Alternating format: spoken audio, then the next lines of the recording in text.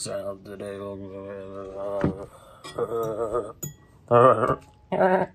Lois. That's Peter Griffin, by the way, from Family Guy.